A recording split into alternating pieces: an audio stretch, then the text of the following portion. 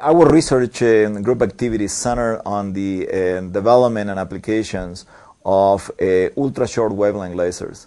This is um, lasers that operate at um, shorter wavelengths than the um, lasers that are used um, today in, uh, in, most applications. This type of um, lasers are needed to explore new areas of uh, science and uh, solutions in technology, such as be, uh, being able to do the metrology necessary to print the next generation of uh, integrated circuits, to um, be able to um, do new types of um, um studies and analysis on uh, materials, um, do microscopy of biological samples with increased resolution, so our lab centers in developing these um, uh, sources of um, laser radiation and applying them into um, uh, different uh, challenging uh, problems.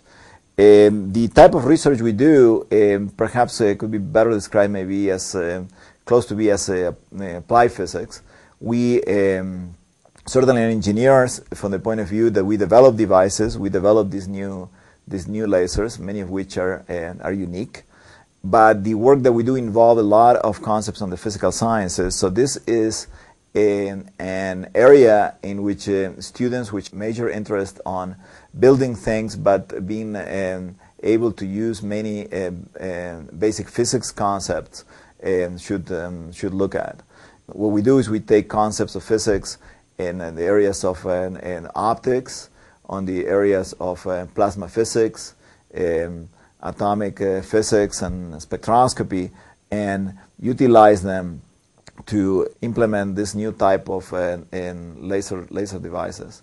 So some of the students involved on, uh, on our research are working in developing these new sources of light, which have uh, unique uh, unique properties. Some of these sources can do today on a setup which fits on a table, which could only be done until recently by facilities which are uh, of the size of a large uh, building at a major university campus. So much of our work goes into trying to make these sources practical.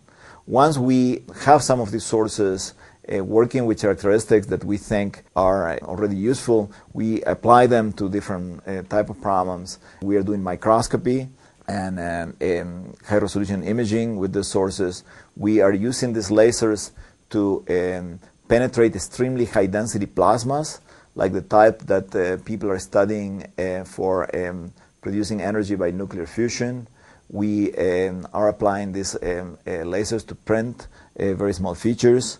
And uh, much of this work is done with the um, support of the uh, National Science Foundation and the U.S. Department of Energy. The National Science Foundation is supporting our work um, as a part of a so-called engineering research center. The, these engineering research centers are multi-institution, uh, long-term grants, uh, five years renewable to 10. And in our case, uh, NSF is funding here at the CSU in collaboration with the University of Colorado at Boulder and the University of California, Berkeley, an engineering center on uh, extreme ultraviolet science and technology. And the main objective of the center is to develop these lasers and these laser-like sources to make them compact and uh, cost efficient such that laser radiation at short wavelength could be used in the same widespread manner than most visible and ultraviolet lasers are today.